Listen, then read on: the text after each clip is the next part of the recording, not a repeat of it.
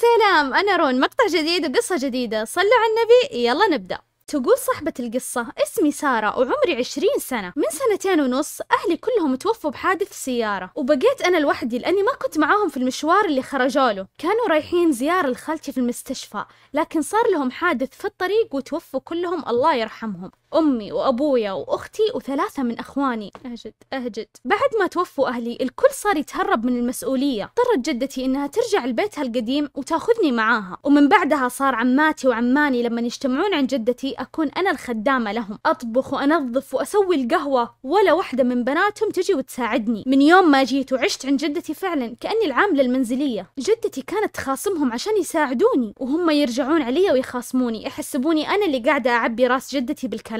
طبعا يسبوني يشتمون أهلي اللي توفوا. وأنا ما أتحمل على طول تلاقوني أبكي وأنا واقفة أغسل المواعين أو قاعدة أشتغل أو أطبخ. وهم رايحين جايين أنواع السب والشتم والتنمر. طبعا للمعلومية كلهم عندهم عاملات منزليات. لأن في مرة لما جابوهم وجو العاملات رحموني وساعدوني أصحابهم لعن وخير خيرهم. تخرجت من الثانوية وكنت الأولى على المنطقة اللي أنا فيها وجاتني منحة دراسية من الحكومة أني أكمل دراستي برا. لكن أعمامي رفضوا وبهذلوني. انتي تبغين تفضحينا؟ انتي تبغين تسودين وجيهنا؟ ما عندنا بنات يدرسون برا لوحدهم. بكيت على سجادتي هذيك الليلة من كل قلبي. أدعي إن ربي يعوضني خير. رحت وبلغت البعثة أني أنا ما أقدر أسافر ولا راح أقدر أطلع وأكمل دراستي برا. قال المسؤول خلاص تقدري تدرسي على حساب الدولة. في أي جامعة تبغينها وإنتي لك حرية الاختيار. فاخترت جامعة معروفة وتخصصت في الهندسة المعمارية. طبعا عصبوا أعمامي وزعلوا مني وقالوا بتفشلينا تشتغلين مع العمال وبين الرجال في الشمس. لكني أصريت على التخصص وما اهتميت لكلامهم. يكفي البعثة اللي راحت علي بسببهم. كمل دراستي وسحبت عليهم. وللمعلومية من وين لا. وللمعلومية من يوم ما توفوا لا. للمعلومية من يوم ما توفوا أهلي أعمامي ما حطوا في يدي ريال واحد. ما قد قالوا لي ناقصك شيء. ما قد مرة اشتروا لي لبس عيد أو شافوا إذا في شيء ناقصني أو إذا تعبانة يودوني المستشفى. ما سووا ولا شيء. يجيبون الخداماتهم ملابس جديدة وأشياء ويعطوني أنا فضلة الخدم متخيلين؟ يتجمعون في العيد ببيت جدتي جمعات وسهرات وما أقدر أحضرها لأني ببساطة ما عندي لبس متخيلين؟ تخيلوا أني ما أقدر أروح لا سوق لا صيدلية. حتى أدوات النظافة والأدوات الشخصية ما عندي لأنهم ما يسمحون لي. ثلاث سنوات ما قد أفطرت في الجامعة. أروح وأرجع وأنا جوعانة. كان حلم حياتي أشرب قهوة في الجامعة. كذا زي باقي البنات صرت أقول لصحباتي إني أنا أفطر في البيت وما أقدر آكل معاهم لأني تعبانة.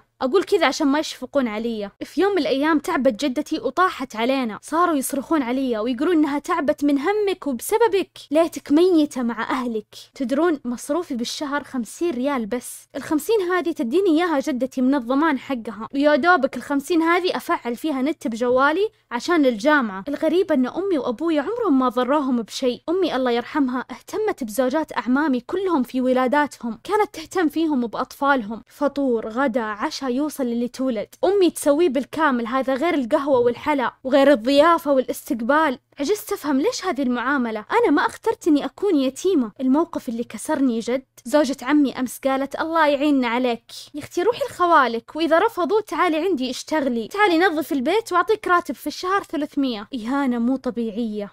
أنا هنا انهارت وأنفجرت فيها. وسمعوني أعمامي. قامت هي تبكي وتقول تهجمت علي. والمشكلة هي اللي سحبت شعري وضربتني لما انفجرت فيها. خوالي أكثر من مرة يحاولون يأخذوني لكن جدتي كانت ترفض. وتحلف إن ما حد يربيني غيرها. واكتشفت إن خوالي يرسلوا لي مصروف. لكن أعمامي يأخذون مصروفي بالكامل كل شهر. ومقسمينه بينهم صحباتي لاحظوا وضعي. وصاروا يعطوني من ملابسهم كأنها هدايا. اضطريت أوافق. مع إني عارفة إن اللبس مستخدم. لكن أحتاج ألبس شيء مرتب على الأقل في الجامعة. ومع كذا أحيانا أخرج ملابسي من الغسالة. ألقاها معدومة وألوانها ضربت ببعض. وأعرف إنهم حطوا عليها كلوركس عشان يعدمونها. ومواقف كثير. ولليوم أعاني من الألم هذا. الله يجبر قلبي ويتولاني برحمته. والله لو يبقى بينهم وبين الجنة ذنبي إني ما أسامحهم. للي تحت يده يتيم اتق الله فيه. حرقة اليتيم عذاب عظيم عند الله. وللي أهاليهم طيبين احمدوا ربي على نعمة الأهل. وحسوا بوجودهم ما تعرفوا القدر إيش مخبي لكم انتهت القصة. الرأي الشخصي. شوفي يا قلبي. حسبي الله عليهم. آه يقهرون يقهرون. شوفي شوفي شوفي. انتي جامعة أتوقع خلاص عديت السن القانوني 21 سنة. انتهينا. كلمي إخوالك يا ماما. خليهم يحولون فلوس على صرافتك طلعي صرافة. ثقافة. بعدين ليه ليه ليه باقي مع جدتك؟ اطلعي روحي عند خوالك. تعالي فين راتب التقاعد حق أبوك؟ شوفي إيش لك وش اللي عليك. لا تسكتي لهم.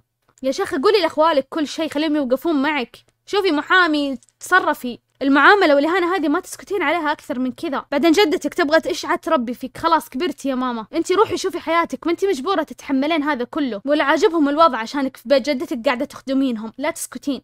كلمي أخوالك واطلعي خليهم يشوفوا لك حل وإن شاء الله كمان أخوالك يكونون كويسين. ما دام إنهم يرسلوا لك مصروف فلا شكل فيهم خير. لا تسكتين على نفسك مو من حقهم أعمامك ياخذونك. أنتي مو صغيرة. ليش الناس دي؟ حسب الله عليهم.